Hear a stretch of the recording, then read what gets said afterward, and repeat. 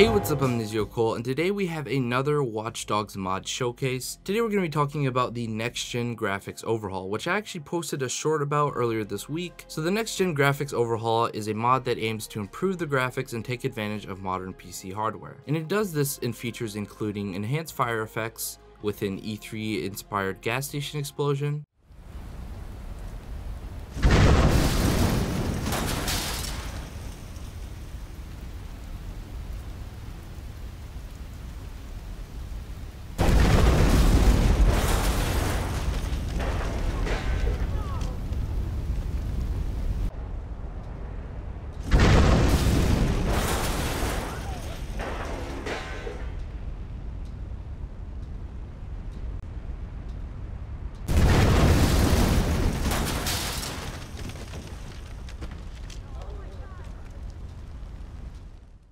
Improved lighting, enhanced reflections, engine settings are more optimized for modern hardware, increased traffic density, enhanced post-processing, enhanced materials, new atmospheric fog, improved trees, improved animation, and there are a bunch of optional gameplay changes such as more realistic physics, improved enemy AI and strength, and every car alarm is hackable. So as far as graphics mods go, it doesn't really have the amount of features that some other mods will have, but I think the features that it does have are very quality, and it's a, a very unique look, and that's one of the things I love about Watch Dogs graphics mods because every single mod has a different type of color grading and tint, and just a whole different atmosphere and I don't think I've ever really seen this one done before.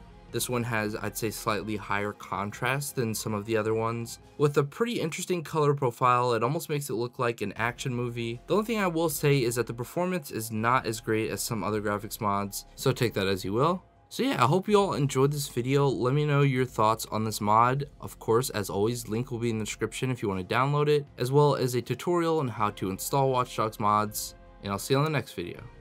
Peace.